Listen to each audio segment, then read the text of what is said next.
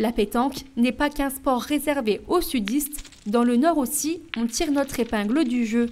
En Haute-Marne, à Nogent, est installée depuis presque 30 ans la société MS Pétanque, l'un des fabricants français de boules de pétanque. L'année dernière, l'entreprise en a conçu 90 000 et ces boules marnaises ont une spécificité, un système anti-rebond qui assure un comportement homogène et constant, quel que soit le point d'impact. Donc au niveau du système anti-rebond, c'est représenté par ces petits nervurages à l'intérieur de la boule.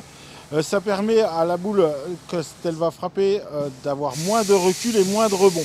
L'AMS, pour Marl Sport, en l'honneur de son créateur Bernard Marl, existe aussi bien en version loisir qu'en version compétition et s'exporte en France et partout dans le monde.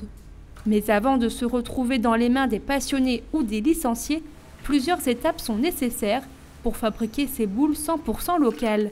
Dans ce bâtiment de plus de 1000 mètres carrés, une dizaine de collaborateurs mettent la main à la pâte pour fabriquer de manière artisanale ces sphères en inox ou en acier.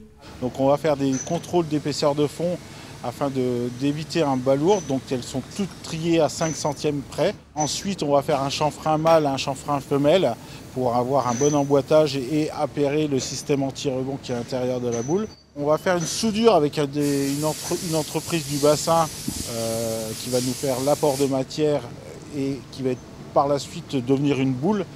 Euh, on fera l'usinage chez nous et ensuite, on fera une gravure avec euh, la partie euh, poids, diamètre, nom du fabricant, le label qui est la référence, qui est unique à la triplette. Cette année, la société a pour mission de produire 105 à 110 000 boules de pétanque, un objectif qui semble pouvoir être atteint car elle bénéficie d'une belle dynamique. En effet, depuis le Covid, le marché de la boule connaît un accroissement. L'AMS n'a donc pas fini de parcourir les terrains de pétanque français et mondiaux.